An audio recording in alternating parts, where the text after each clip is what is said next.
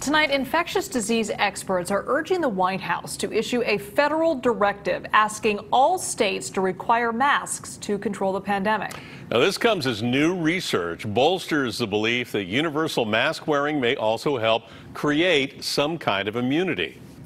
Our Len Kiese has a study in tonight's KPIX5 original report. At Point Isabel in Richmond, the dogs are not the only ones strutting their stuff.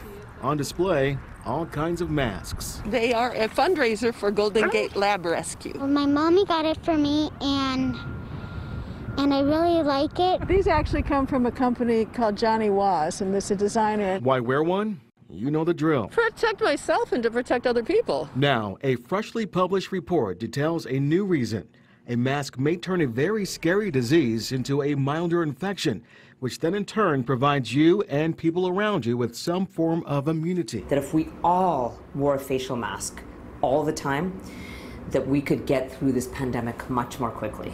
Dr. Monica Gandhi is an infectious disease expert at UCSF and lead author of the study. She believes that masking will reduce the amount of virus that you get into your system and will make you less likely to be sick. Her research details multiple layers of proof. For starters, a higher dose of a virus leads to more severe disease.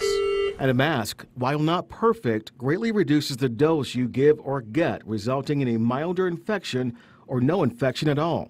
One example. We call it the tale of two cruise ships. The Diamond Princess in Asia is compared to an expedition cruise in South America. Both ships were hit hard with a coronavirus outbreak. At first, passengers were forced to stay on board. They didn't actually let them get off. The Diamond Princess did not immediately hand out masks. The expedition cruise did. The masking made a difference. The vast majority of infected passengers on board the expedition, 81%, remained asymptomatic. Compare that to 18% of infected passengers on board the Diamond Princess who were without masks. All this evidence leads us to believe that the mask filters out viral particles it makes you have less in and you're less likely to get sick. The next theory if you're infected with a smaller dose and have mild disease, do you then have immunity and for how long? So far, no one knows. But today, there's no convincing evidence you can get reinfected. There's very hopeful data that you can be asymptomatic and still get that immunity. Population level immunity will drive down spread.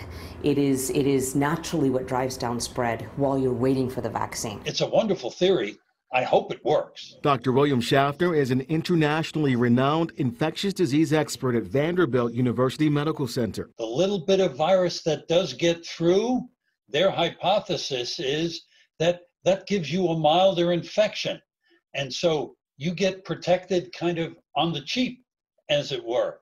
And that may help actually give many people protection. He says the Gandhi report is another good reason to mask up. We should all continue to wear our masks every day. Back at Point Isabel, the reaction. I hope that's that proves to be correct. And I hope the rest of the country gets the message real quick. Dr. Gandhi told us many of the new COVID cases that are severe and require ICU care are connected to settings where essential workers may not be handed masks. In San Francisco, Len Kiese, KPIX 5. Well, the Bay Area does not have a uniform policy to distribute masks to essential workers. In Taiwan, the government quickly moved to provide masks to all essential workers. And to date, Taiwan has had 480 coronavirus cases and seven deaths in a country of over 23 million people.